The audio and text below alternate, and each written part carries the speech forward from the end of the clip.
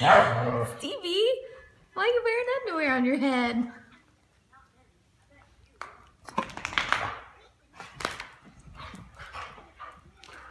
I see the rainbow.